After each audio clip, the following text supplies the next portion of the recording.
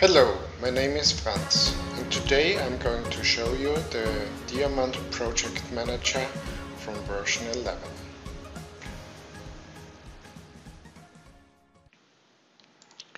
Here you see the interface of the Diamant Film Project Manager. The Project Manager is um, to organize your restoration work.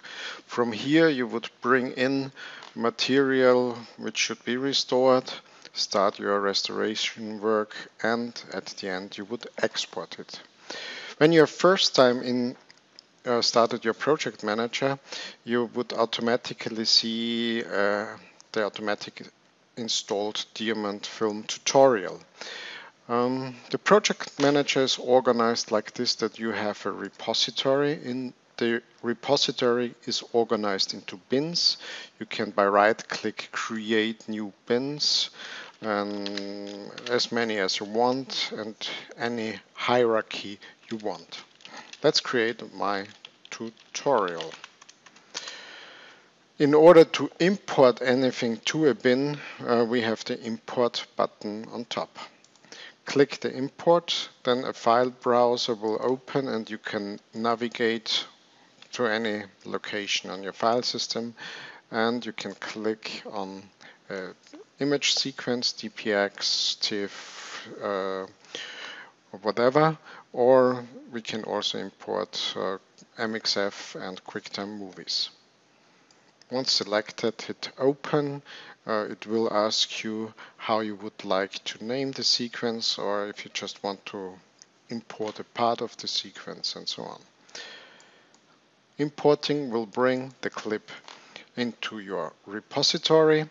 Um, once when you click here on the clip, you would get on the right side the clip details. In the project manager, we have several ways to add commands. We can add a command to a bin, like here, bin command. We can add a command to a clip, this over here, clip command. And we can add commands also to generations. Um, we will come to this later. The generations commands would be on a right click here and edit command, gen commands.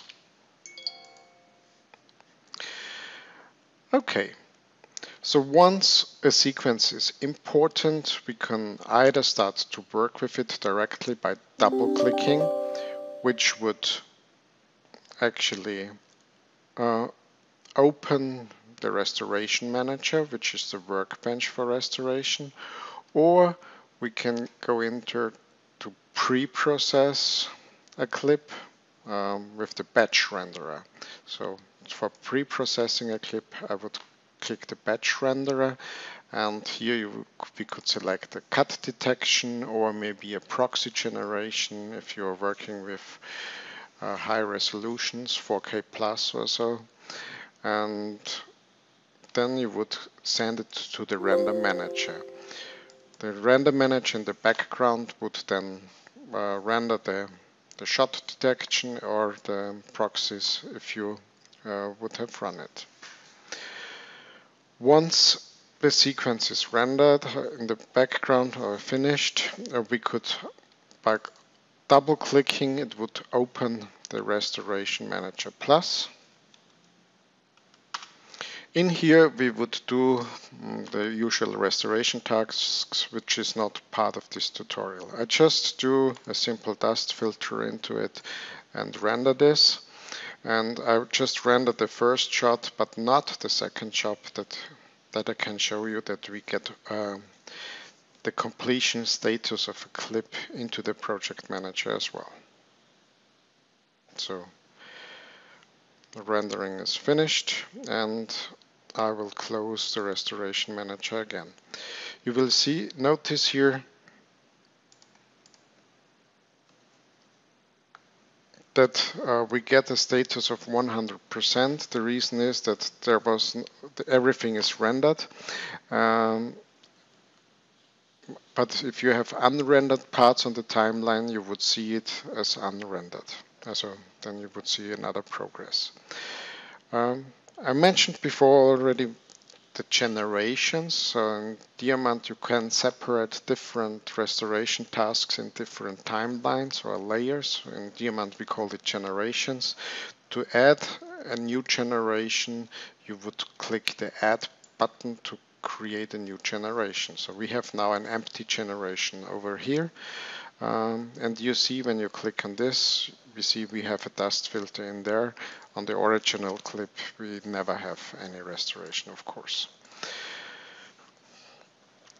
So what else can we do in the project manager? Well, we can backup and restore projects. To do so, we click on the top left icon, say create backup.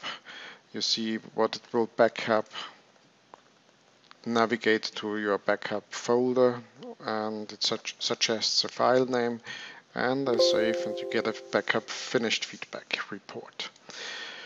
Later on you can uh, restore the backup of course and in the backup we have just the metadata of a project so they are quite small not the rendered data. The project Manager of Diamant version 11 allows to rename clips, so you can easily rename it. And it allows you to reorganize your project, so you can create like my sub bin for tutorial. And you can move easily a project to a to this folder. So it is easy to reorganize um, your, your project, projects later on. When you have finished the restoration of your project at the end, you probably want to export it. So to export it, you would select your clip in the last generation. Uh, and in the last generation, you would hit the export files button and in the export, you would select which part of the sequence you want to export. Default is the full sequence. You can change the format. You can change it to QuickTime, MXF videos or whatsoever.